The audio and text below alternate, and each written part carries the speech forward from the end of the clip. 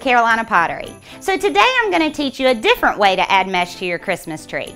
I've already shown you how to add the mesh from the top to the bottom. Now we're going to talk about what if you want to go around your tree.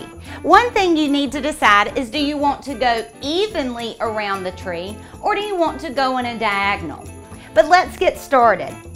So what we're going to do is we're going to take our mesh, we're going to drop it down on the floor, I'm using a 21 inch roll of mesh with 10 yards and I'm going to gather it in my hand. Notice I have the side that likes to roll over facing the tree and I'm going to make this into what I call an ugly poof. So all I did was I took the mesh, gathered it in my hand and looped it around. So now I have what I like to call my ugly poof. And I'm going to come onto my tree using the branches and I'm going to twist those around the mesh. I'm able to do use the branches because this is an artificial tree. If you have a live tree at home, just use wire the same way that I'm using the branches. Now I'm going to take that ugly poof and make it look pretty. So I'm going to fluff it out and then I'm ready to start to move around my tree. And so I'm going to gather it in my hands and I'm going to make tighter poofs on this tree.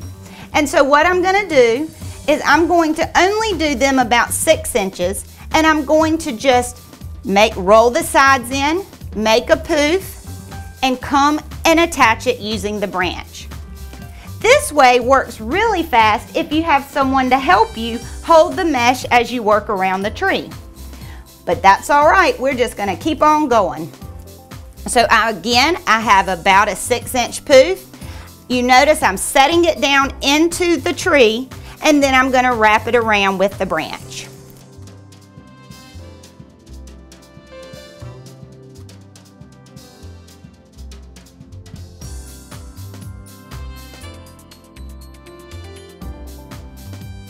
So once you finish going all the way around your tree, and on this one I ended up doing the diagonal way. But I realized when I got finished that I don't quite have it even right here. Well, we're not gonna take it all apart. And don't worry, so all we're gonna do is you can shift it down, open up your fluffs a little bit, and fill in that space. If it still doesn't fill up as much as you would like it to, then that's okay.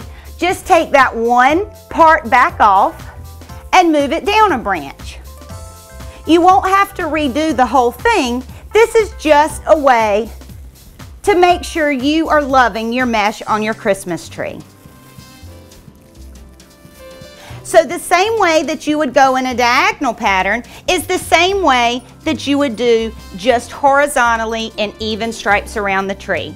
Then you can go back and fluff them as big as you'd like to. Or if you've made your puffs too big, you just roll the mesh underneath and it makes your puff smaller.